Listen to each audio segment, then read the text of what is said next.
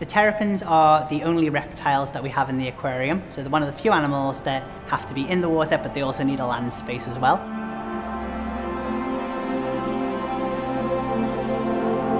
A lot of people get confused with the difference between tortoises, terrapins and turtles. The tortoise is the animal that lives on the land all the time. Turtle is like a sea turtle, so they live in the water almost all the time. They might come onto a beach to lay eggs, but other than that, they live in the water.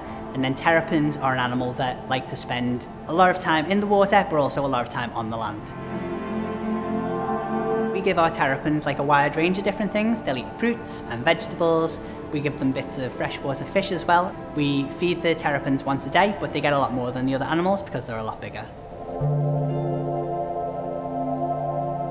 We have lots of different species of terrapin in our tanks. Two of the bigger ones are the river cooters, and they're a lot bolder than the other animals, so when I go in to feed them, they'll often come up onto the land to try and take food off me, whereas some of the little ones are a little bit shy, so they'll wait until the big ones are back before they get any of the food. The terrapins will rest in the water. Often you'll see them like they'll lodge themselves in between some of the logs and they'll go asleep.